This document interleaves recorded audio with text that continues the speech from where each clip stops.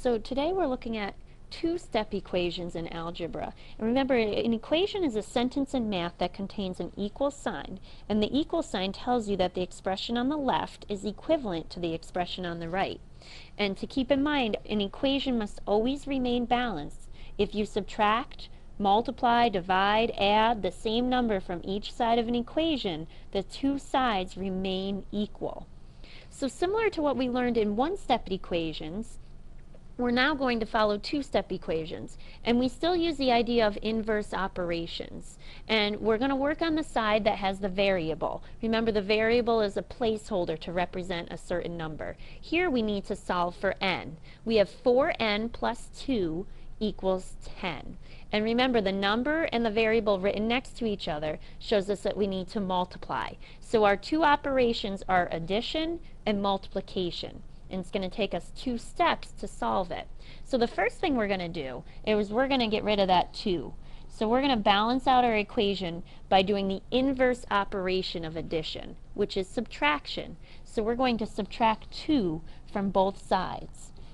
Now these cancel out, and we're left with 4n equals 8. Now, our next step is to take the inverse operation of multiplication, which will be division. And we're going to divide both sides by 4. Again, working on the side where there is the variable first. Now, 4 divided by 4 is 1, so we're left with n equals 2. Now again, from what we talked about in one-step equations, it's important to check your answer. So we're going to rewrite the equation and we're going to replace the variable with our number. And we need to see if our sides are balanced. 4 times 2 is 8. And again, we solve using the order of operations. So we're going to multiply first, then we're going to add. And we have 10 equals 10 and our sides remain balanced. Now looking at another one where we involve subtraction and multiplication.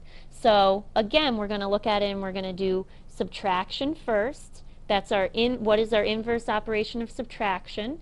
Addition. So we're going to add 5 to both sides and these cancel each other out and we get 3n equals 15. Now we're left with multiplication. And again, we need to work on the side with the variable, so we're going to divide both sides by 3. 3 divided by 3 is 1, and we're left with n equals 5.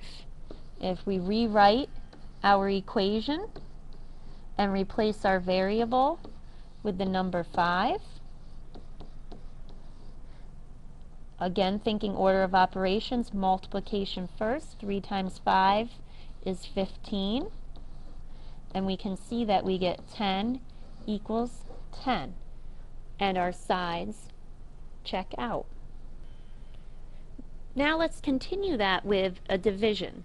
So here we see we have division and addition. So we're going to begin with our inverse operation, which would be subtraction. And we're going to take 5 from both sides these cancel out, and we have 8. Now we're left with division. The inverse operation for division would be multiplication. So we're going to multiply by 4 on both sides. 4 over 1 times n over 4, 4 fourths n. Now 4 over 4 is equal to 1 whole. So we're just left with n, the variable, 1n. And 8 times 4 is 32.